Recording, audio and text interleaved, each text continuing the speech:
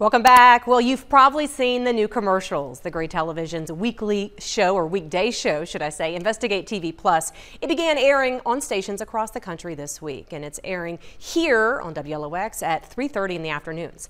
The news magazine program is showcasing groundbreaking investigations plus consumer health, in-depth and inspiring stories. And this week's In Their Shoes, we travel to New Orleans to meet one of the hosts and learn what it takes to be an investigative journalist. Hey y'all! Guess where we are today? We're over here at Fox 8 in New Orleans, about to introduce you to the man of the hour. You've seen him on Investigate TV. You now see him on Investigate TV Plus.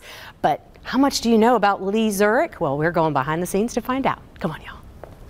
So you know what's really cool about this? What? People see you and they think, oh, this is the guy out of LA or this is this investigative reporter out of New York.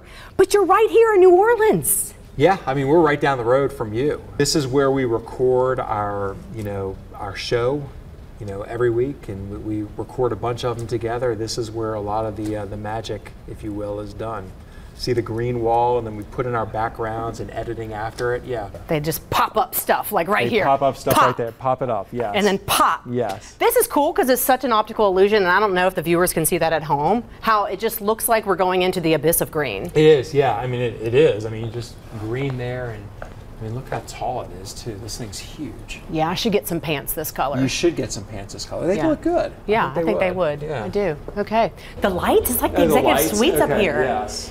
Yeah, so what's all this? These are the Investigate TV offices here. Greg Phillips. 100,000 bears across this shaded area in North America. How do you pick the stories? We're looking at stories that you know are impactful or meaningful to people like you know what what impacts your life what can you relate to those are the types of stories that we like to pick and try to pick do you ever fear for your life um, i do not fear for my life look most of the stuff we do everything's out there, everyone knows, it's buttoned up, we have documents to back it up. Most of the stories have been pretty high profile, so if something happened to me, people would kind of know, hopefully. So I no, I no. Maybe I should be, but no. so then deal. you need to train me. How can I be an investigative reporter?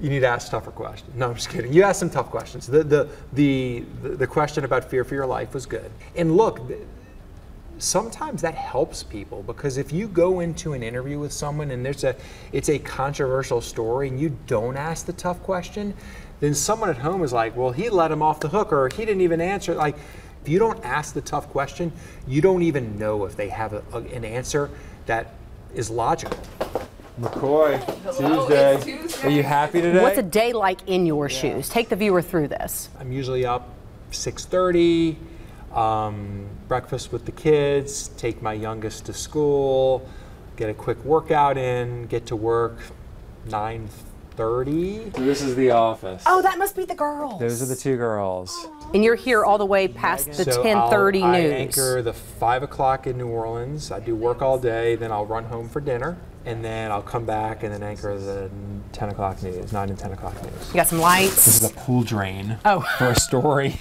I saw that story yeah, where like some little girl had died yes, or something. do not put this in your pool. No. That's no. a bad pool drain that we were able to order on the internet. You love It's a this. long day. No, it's, I do love what I do. Yes, I love what I do. Nice. you know, I've noticed something about you, Lee. What's that? You ask everybody questions. I do. I Are do. you that guy that goes to the grocery store and you're asking people in line questions? I rather ask than answer. Yeah. Yes. I can relate to that. You can relate to that, yeah. Yeah. I'm, I'm gonna turn the tables on you at some point. Yeah, it's gonna be yeah, a very long very, time. Very long time. I'd have to be under investigation. Yeah, there you go. May happen. I don't want to wear orange. Yeah. I'll stick with yellow and That's green. Good. Yellow and green's good. Lee. Yes. All thank right. you so much. Fun. No problem. Oh, it's great interviewing Thanks. with you, and yes. thank you for showing us your world. Of course. Anytime. Come on back to New Orleans. All right. Now, if you don't know this, Lee is considered one of, the, one of New Orleans' most honored investigative reporters. And it's interesting to note, though, that he started his career in sports. He says it was Hurricane Katrina, though, that pushed him into hard news and helped him find his purpose.